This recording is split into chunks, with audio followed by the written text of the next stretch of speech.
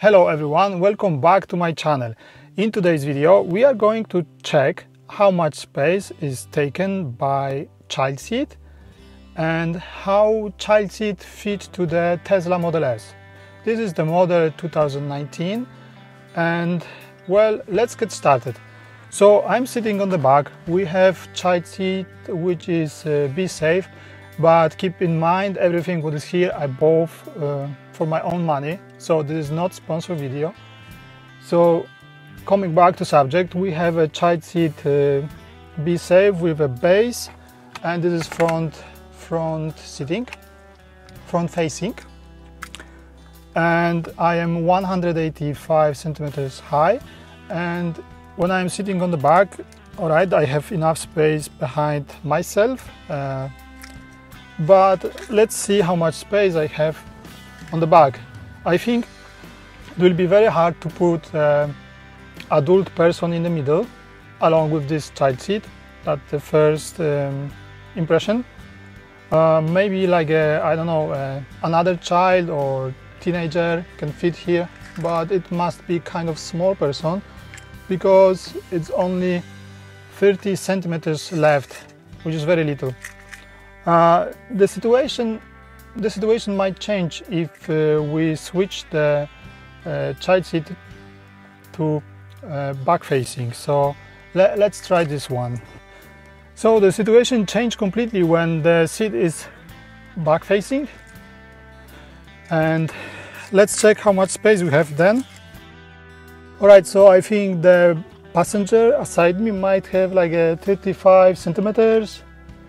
But still it won't be comfortable position so I would recommend to if you're planning to trips with your children to take maximum four uh, people I would like to also highlight that uh, having ventilation on the back of the car is very convenient it's very nice to have and the car is uh, very well ventilated. I think we had this seat back facing when our son was Uh, like a one year old and then go up up to two years and maybe one month too or something. Then we switch for the front facing. So you see it's kind of a lot of space inside. So now it's perfect. It's really plenty of space. You see I could put my fist in here. So I must say that this car is very spacious.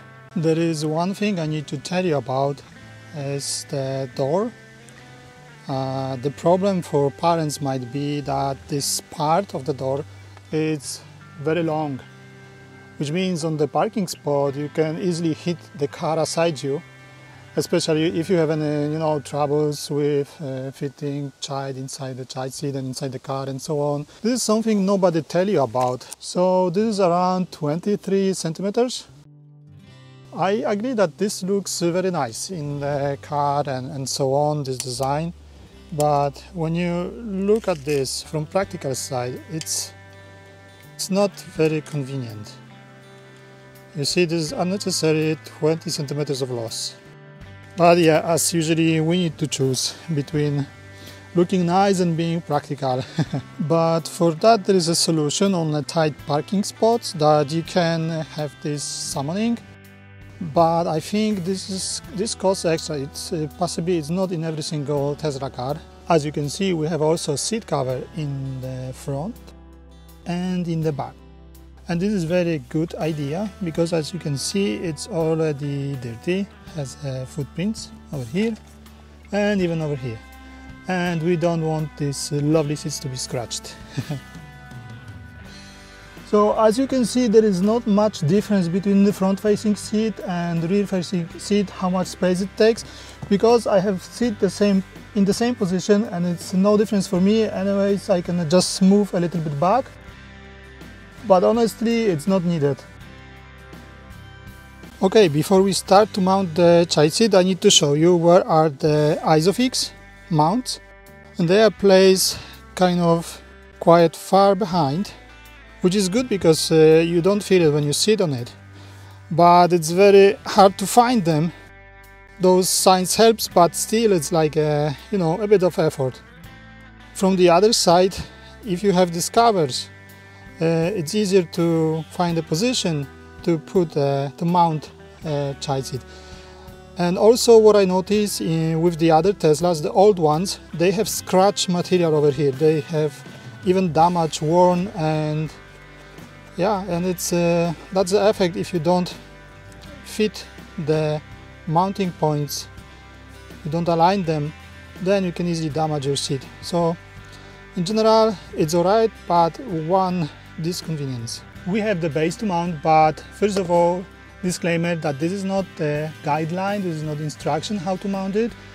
If you want to make sure you mount it properly, then you need to read manual or reach out to proper authorities. Alright, so let's try to mount it and see how it is. This base is quite interesting because it shows you how you mount it and if there is a mistake you have a red color over here and if it's properly mounted you have a green one. And the same at here. So the this leg need to uh, touch the floor. If not you have the red color. Oh sorry red over here down and if it's touching then it's okay it's green one if not it's a sound beeping sound so we have a red color over here because we need to mount the child seat. So just fit the position, regulating over here. I think should be okay.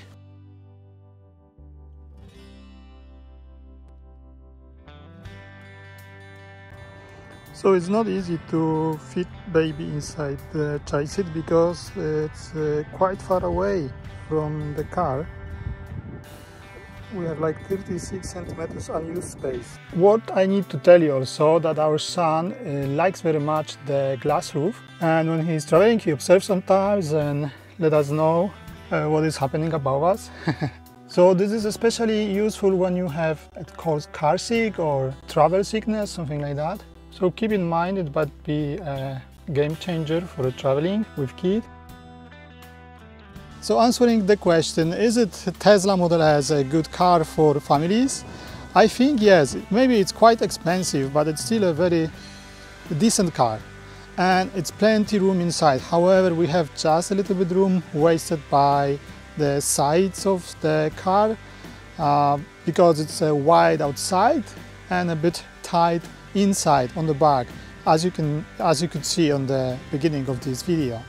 So let me know in the comments down below if you have uh, other electric vehicles and if you have troubles with mounting a child seat and which side child seat is the best for you guys and let me know let me know your opinion. So if this video was useful for you please subscribe this channel and let me know in the comments down below if you want to see more of that videos with Tesla suited for families and what you should look for before you buy Tesla. Let's see you in the next video.